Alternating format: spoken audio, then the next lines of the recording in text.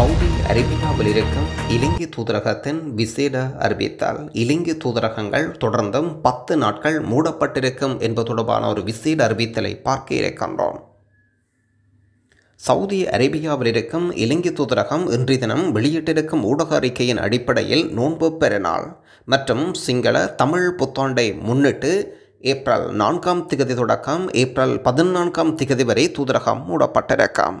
அவசர சேவைகள் மாத்திரம் இந்த காலப்பகுதியில் வழங்கப்படும் என்றும் மீண்டாம்.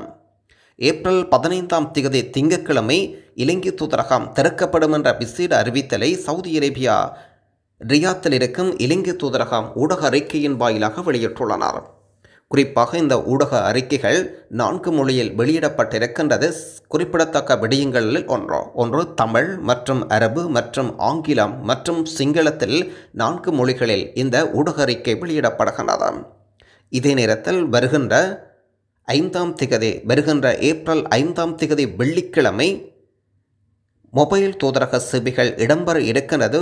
யூனிஃபைட் விசா விண்ணப்ப மையம் அல்ஹோபார் பிராந்தியத்தில் இடம்பெற இருக்கின்றது. காலை ஒன்பது மணி தொடக்கம் மூன்று மணி வரை இடம்பெற இருக்கிறது மேலும் விவரங்களுக்கு தொள்ளாயிரத்தி அறுபத்தி ஆறு ஐம்பத்தி ஐந்து தொள்ளாயிரத்தி ஆறு பதினான்கு முப்பத்தி எட்டு என்ற எண்ணில் அழைக்கலாம் என்ற அறிவித்தலையும் இலங்கை தூதரகம் வெளியிட்டிருக்கும் ஊடக அறிக்கையில் சொல்லப்படுகின்றது.